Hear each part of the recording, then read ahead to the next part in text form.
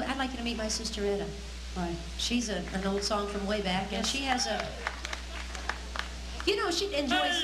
She enjoys doing so many different kinds of people. You know for a fact that they eventually end up in our shows. Yes, for Mom and Pina and Grandma. We're going to do this one right now.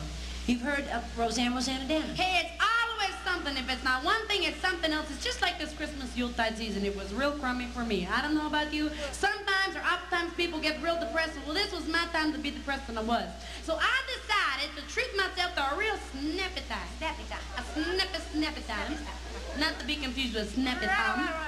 Right, right, right, right, right, right, right. Anyway, and I decided to treat myself to real snap time and go to one of the real in places around town, and you all know what that is, the hot tub.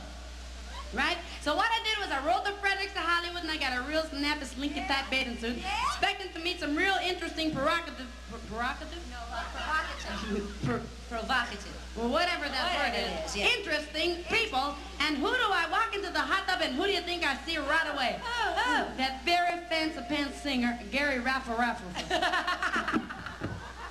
That's right, he's sitting there in all his hairy glory, sitting there in the hot tub. But what this very fancy singer did not know is that he had a piece of sweater stuck in his belly button, and it wouldn't fall off. Come on, a big hand for Ed and Roseanne, Roseanne and Anna. And a big hand for Gary. He's been a regular part of this show now for two weeks. He's a fun kind of guy to He's a on, you cute know? guy, that's why. He's a good-looking guy, isn't he, ladies? Gary Raffanelli? Mm, I think he's so Some cute. guys out there cheering him. Kidding. You know, I think he's a doll. Sandy was right. No, oh no. Come on, we want to see your belly button. That's Gary. He wanted to show you his belly button. He showed me it before he had a cigarette butt put out. he said, I liked it. Oh, jeez. But I don't even think we ought to go on with the rest of it. Donna Summers. You like Donna Summers too, right? No, not too bad. Not too bad. Okay, well, how about uh, Edith Ann? You like it? Buster likes to dance on my legs. That too, yes. You your, know, dog, your dog, Buster. well, him, him too. There's a guy Buster out there. He just grabs on. You know, it's so embarrassing. I'm going like this. But this is one of uh, Judy Garland's one of her very first motion picture appearances. And Edda has been a fan of Judy Garland's for a long time. So, for Mom and Peanut and Grandma.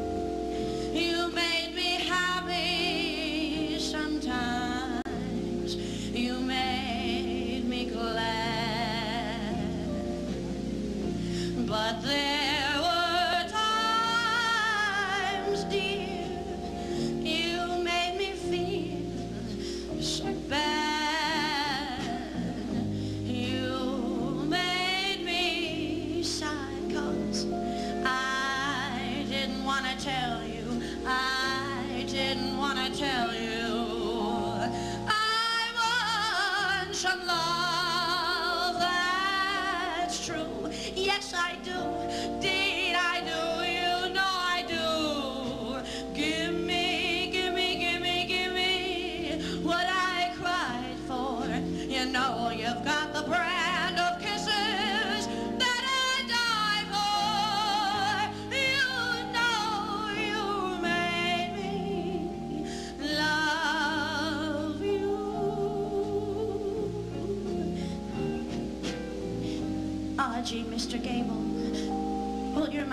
Actor, and, and I gotta tell you why.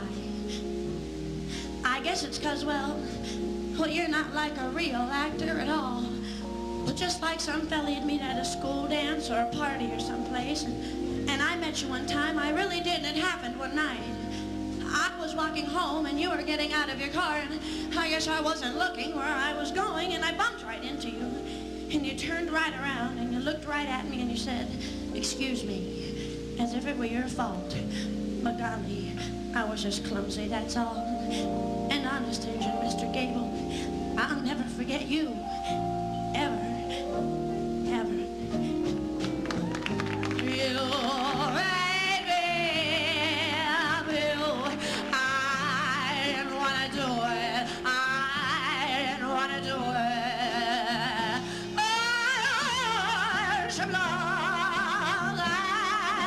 Thank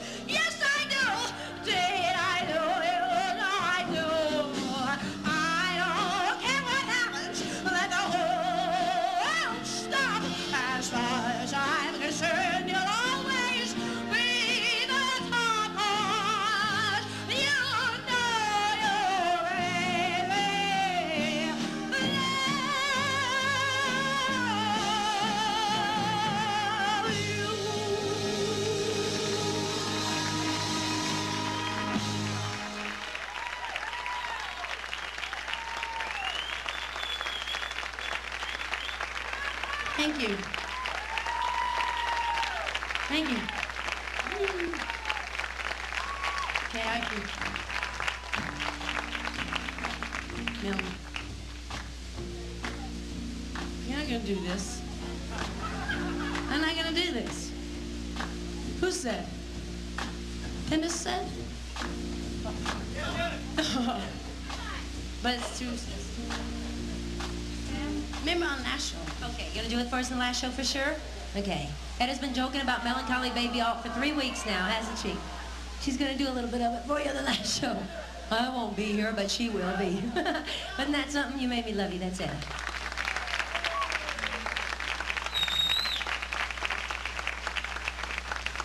I'm sure you, have already been able to figure out, I mean, I, I, think we've told you enough, that Hawaii is a very special kind of place. It, it picks a, oh no. We have a request for New York, New York from Pat and Rick and Michael. For Michelle, I guess. Start spreading the news. I'm leaving you today. I want to be part of it. New York, New York, New York. Listen, listen, let's, let's, let's, let's keep them in suspense, see? I was jamming. They'll all stay for the third show, and you can do it again for them on the third show, okay? I was jamming. That's all right. We'll jam it on the third show. Okay. Okay. But in the past few years, Hawaii has picked some of the some of the acts that have really been big all over the world to be uh, favorites of theirs, to almost call them their own. And the Young Rascals was such an act. I mean, I know they were big everywhere, but they were giants in Hawaii.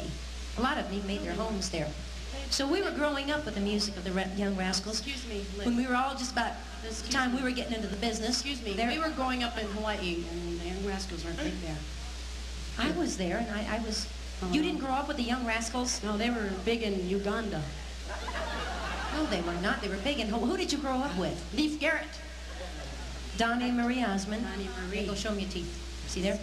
Andy Gibb. Who did you... Andy Gibb. Okay. How about you? Liz Damon. Thank you, thank you. You're an old guy. Thanks a lot. well, anyway, uh, I know I know this music because I went to rehearsal and Randy knows it because he arranged it. The rest of them will jam. Okay, okay. Just find a place. Go for it.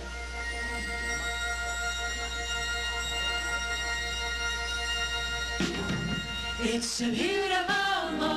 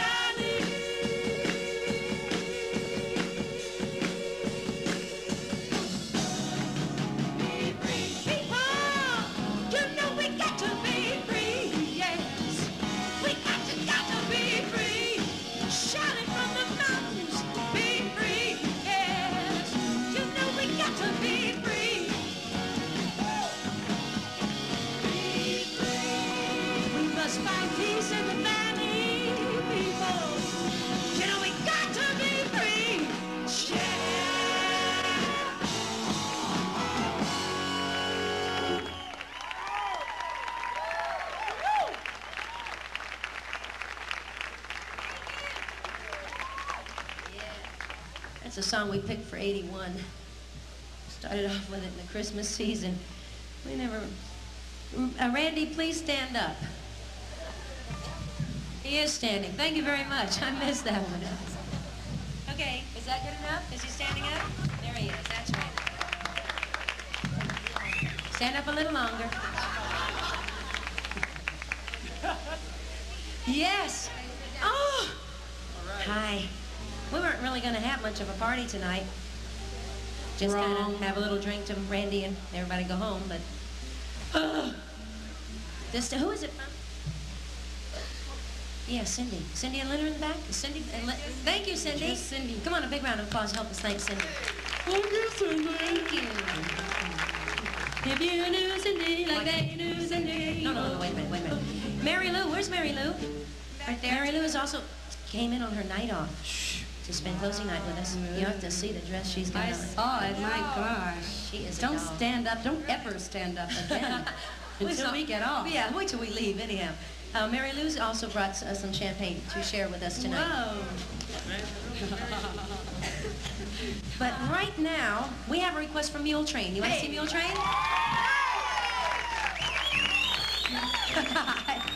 Those ladies got that stuff down pat. this is one of Edda's pantomimes that she saw a while ago, and, and she really fell in love with it. And she wanted to do it in the show very badly. And about that time, we were opening up here for another engagement, and I knew, well, I know what the room is like, so I asked her to go out and get real attention-grabbing props, okay? Because this is a big stage, and a very big room, and a big place, the MGM Grand here in Reno, and you have to be able to keep people's attention. Mary, you want to take care of this for me? That's a big rope. Yeah. It's one of the biggest ropes I've ever seen. Me too. Do you think it's, it's, excuse me, I was going to help you there, thanks. Don't you think it's a little big for your mule? Yes, I do it is, but like I said, he likes it. He really likes that Yes, stuff? he prefers leather and chains. We always have arguments because I like whips.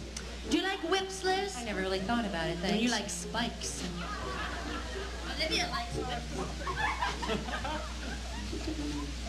Does she really? Give me the, there, give me the mule. And get rid of this thing now, okay? You want to tell everybody about your bed? Yeah. Okay. I don't. I'm not going to say anything about the bed, okay? Because it's just, well, it's just very self-explanatory. I do want to say one thing, though. I want to say that I happen to think it's the greatest thing I've ever done in my life. And I And agree with I- you on that. That's true.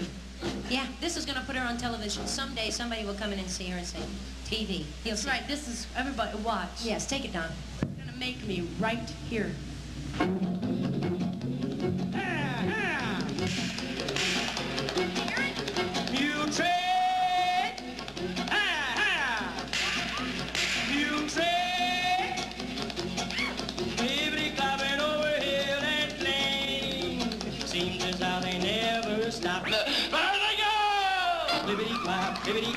Bibbidi, bibbidi, bibbidi, bibbidi, bibbidi clapping along. Really better what a spectacle, what a wonderful spectacle. I'll describe the whole thing now. There's a plug of Chardonnay for a rancher Corona. Back to the skies all going much together. I don't think they can avoid an accident, but some way they avoid the accident. Get along,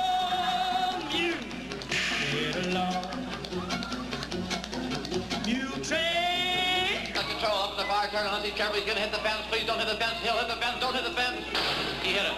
Get along, you. Get along.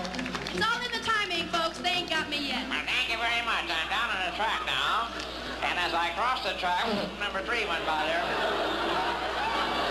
As I crossed the track, four went by there. Well, here's the driver, driver Gentry. Uh, say a word or two so everybody will know you're perfectly okay.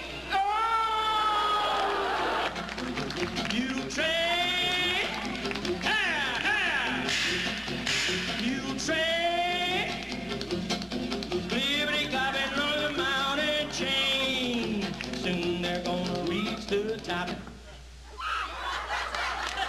on, a big round of applause for Edda. Thank you. I'm Let's, let's hear it for the mule. Thank you. Let's hear it for the Indy 500. Thank you. oh man, Thank you very much. man, oh man. Jeez. For those of you who've never seen the bit, it was, uh, there were excerpts in it from the other pantomime that Edda does, and you really picked up on that quite well. Of course, that keep trying to I throw want, me to, man. I want you to know that nobody in this group knew about that until tonight. It, Yeah? you, you can thank Teresa and Don for that in particular. I'll see them later. but she really caught on fast, didn't she? Come Sure on, did. Edda. Thank you. Right. Right. Always trying to throw me off, boy. Wait you see what they got planned for you in the next show. I'm not gonna be here. Edda's going to sing a song for you that I like for two reasons. About halfway through the song, she's going to show you how to disco dance in your seats. Are you excited? Oh, the over enthusiasm here. The second reason I like it is because right before your very eyes, without any makeup change whatsoever, without any special film effects or tape effects, Edda will look like Donna Summers. Just watch her face. You'll see. It's a phenomenon. Those amazing animals. She's going to be on. It is a phenomenon that I don't understand myself, but it does happen, and I'm very lucky because of it. Yes, you can watch, but please be quiet. I have to concentrate, okay? Here I go. Watch.